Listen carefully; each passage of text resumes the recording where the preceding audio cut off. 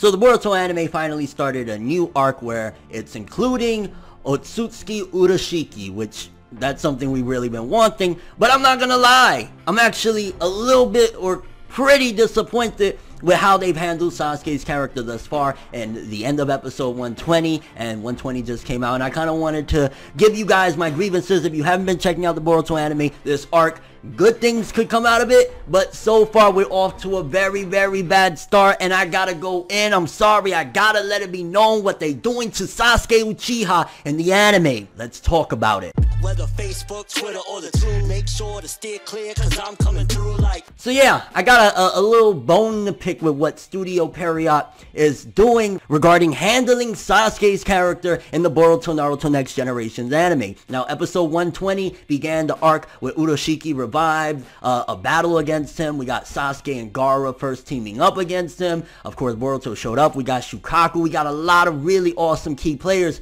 back in the story, which is something that most of us have been wanting. You know, we had a lot of arcs of some boring, minuscule, who gives a you know about the, the uh, arcs. We had a lot of episodes like that, but this arc started off something very interesting, something that the fans can actually say, okay. And you know, something that really bothers me too is that from my understanding, Ukyo Kodachi, which not Masashi Kishimoto, the original creator of Naruto, but he was assistant from chapter 7 on uh, to Naruto to Masashi Kishimoto. He's the one writing this, right? or the manga, shall I say. But he actually is heavily involved with the anime. Not only is supposedly Masashi Kishimoto uh, involved in the anime, but Ukyo Kodachi supposedly supervises so that he eventually can incorporate certain things. In case you don't know, certain events, certain characters, certain aspects of the Boruto anime has made its way, despite it being anime only, into the manga. So we know that there's some heavy involvement from the creators that are working on the manga. Now, in case you don't know,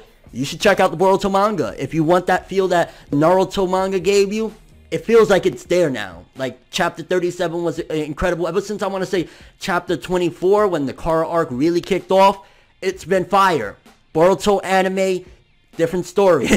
Cause like, okay, manga again, we got some great stuff. We got team ups and something about Sasuke's character has been amazing. Because based on where we're at right now with the Boruto manga, Sasuke's character is showcasing that he's come even further from where we've seen him, you know, at the end of the Naruto manga in terms of he's better at strategy, he's gotten incredible, and you would argue that he surpassed Naruto. Whole different discussion for a whole different video on who's stronger, Naruto Sasuke or whatever, but Sasuke has shown to be calm, calculated, you know, in, in the fight against Jigen, and I don't want to give away spoilers and shit like that. Obviously, there's some stuff with Jigen, you know, whatever. I don't even want to tell you exactly. If you don't know who Jigen is, go read the Boruto manga. But there, there was a, a pretty eventful moment, and it showed that Sasuke is on another level. Like, he's gotten even better. He's been training. He's been, you know, his adventure around the world has brought Sasuke to a better place in terms of just being a shinobi and in combat. Like, he's very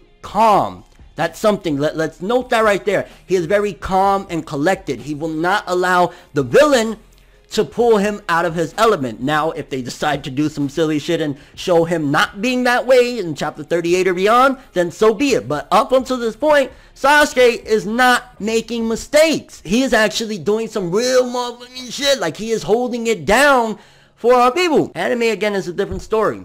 So, chapter or episode 120 of Boruto Naruto Next Generation. At the end is when Urashiki, we see he's returned and midway into a battle, we're thrown into this basically seeing that Gaara and Sasuke are teaming up to fight Urashiki because Urashiki is trying to capture uh, Shukaku. He wants to get, I'm, I'm, imagining he wants to get his chakra of some sort, similar to what um, Momoshiki did when, or the two of them, what I, I can't remember both of their names, but Momoshiki essentially, when they showed up, the two of them, they were trying to capture the chakra of the tail beast, right? And they wanted to get Naruto, they wanted to get all that. So Urashiki's kind of trying to do the same thing with Shukaku, and Gaara and Sasuke, they're teaming up. Great stuff. Awesome. Love it. Glad to see it because they were always very similar characters. I'll never forget again the moment where Gaara started crying because he saw what Sasuke was, how he used to be, and he wished he could have helped him. Just talking about it is giving me goosebumps. I ain't gonna lie because that was a classic moment in Naruto. And we see Sasuke's character fighting Urashiki, and I'm like, yo, how we go from Boruto chapter 37, Sasuke is showing that he is probably in his prime. You could argue, well, no, maybe the end of Naruto, they had those special stages, six path powers, whatever. But in terms of like being a fighter, fighting in general, combat, he's doing his thing. He's holding it down in the manga. In this fight against Urashiki, I can't say the same. I cannot say that that is the Sasuke Uchiha that had me just a couple days ago screaming and going crazy like, yo, Sasuke back, oh my god. Because in the anime, Sasuke basically essentially gets riled up and gets tricked by Urashiki to make a mistake and get sent away. Now you could argue, hey, uh, maybe down the road it'll help or whatever. But regardless of what, basically Urashiki by taunting Sasuke allowed him to get upset and charge at him without thinking, which is not Sasuke-like. Where we see Sasuke at in chapter 37 of the manga, which is ahead of the Boruto anime story-wise, you know, continuity-wise, he's not like that. he's just not. He's calm, collected, he's strategizing and everything. But in the anime, he's just throwing balls to the wall, whatever, let me charge at you. And it costs him because he gets sent to another dimension by Urashiki. Now, granted, we know Sasuke has the, the power from the Rinnegan where he could jump from dimensions and stuff like that. But regardless of what, to see Sasuke make a mistake like that, which at the end of the day, that leaves Gaara by himself, that leaves whoever's there in, in the battlefield to fight Urashiki by themselves, is like, what are you doing, Studio Pierrot? Uh, why, or, or even Ukyo Kodachi, how are you passing this through to showcase, like, there's better ways to have Urashiki catch a W or for Sasuke to take an L than to make him make a big mistake like getting upset based on the words of his opponents. Of course, Sasuke, they're going to taunt him. You know, he's had plenty of people taunt him like, you know, your, your whole clan is dead. What do you think you're going to do? You know, it's happened before. But to see Sasuke at this point being a sensei, that is Boruto's instructor. Boruto looks up to this guy, mind you. Like in episode 120 or 121, Boruto heads out because he wants to find Sasuke. That's how much he admires him. He goes on a little journey. Of course, we got some filler stuff. Uh, a, little girl named Isago. A couple of different things. Really cool stuff with Shukaku, which, by the way, just a side note, Shukaku blasting Urashiki with that giant blast was freaking incredible. Absolutely loved that moment. I thought that was sick as hell. Like, just seeing the tail beast again. It's like, finally, you know what I'm saying? These were very pivotal points to the manga. Very pivotal points to Naruto. What happened to them? And them incorporating that Urashiki's trying to capture him. Very, very big deal. Very awesome stuff. Seeing him blasting him away. And then he gets turned into like a little chibi one because they put him in a rice cooker. Which, by the way, Dragon Ball all the way, baby. You're not telling me that that ain't inspired by the Mafuba or wherever the uh, influence was to create the Mafuba. If there was any of like a rice cooker, basically, uh, Gaara puts Shukaku in a rice cooker and now he's like a chibi form. Like, funny stuff there. Awesome. Like,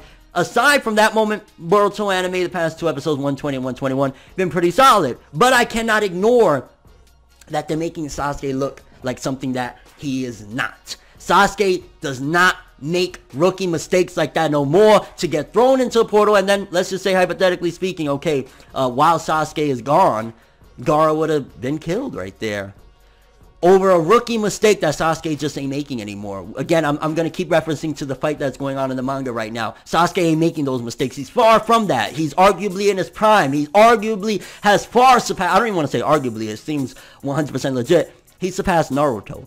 So if he surpassed Naruto, how is he making silly mistakes like getting thrown into a portal based on just being antagonized by Urashiki? It don't make no sense. It doesn't feel like that Sasuke. And that's where I was like, Bro, you have an opportunity of a lifetime right now to make the anime pop. The anime is in Slugville. People ain't really rocking with the Boruto anime. This is some really interesting stuff, and I still would argue, yo, check it out. If, if you don't want to watch everything else, you haven't watched it in a long time, episode 120 and 121 are out right now, the latest two episodes, and start this arc against Urashiki and stuff like that. Go check it out. But you can't be doing our boy like that. Nah, we too far in right now, bro. You cannot. He has a daughter. He's a, a sensei. He got a wife. And he's making these little mistakes because, bro, what you doing right now, Studio Pierrot? I, I really was disappointed with that. I was really disappointed, especially like, yo, okay, we have a very, very big arc just started. It just starts right there. The fight, as a matter of fact. Gaara and him teaming up. Of course, Gaara keeps taking L to Every time I think of Gaara versus Urashiki, just like the last time, Gaara keeps getting, like, bopped in a, in a way. And I'm like, we doing this? Really? This is how we rocking right now? Like, what are you doing, bro? But then the, the Sasuke moment, I'm like, so is it two different characters? Or Studio Pierrot is just, they're, they're, they're trying to take the piss roll now, mate? Like, what are you doing? Right now, I'm chill. I'm just saying, like, Studio Pierrot, uh, how you, how you doing, our boy Uchiha Sasuke like that? Like getting tricked? Like, yo, what is he, Vegeta in the Cell Saga? Like, yo, I'm just saying. Ooh, them shots at Vegeta. Nah, I love Vegeta. I'm just saying, like, Sasuke, you can't be making these mistakes, fam. Especially, no, no, no. It's not even Sasuke's fault. It's not the character. It's the studio. Because it's not even core-wise, manga, Sasuke, beast. Anime-wise, Sasuke, rookie mistakes, baby. Rookie mistakes. And I gotta call them as I see them. Awesome, interesting arc. Sasuke making mistakes. Gaara still taking L's. Shinki's pretty cool. Boruto, whatever, he's involved. I'm not a big Boruto fan, I ain't gonna lie. And Shukaku's Blast. So, very annoying part to an interesting arc.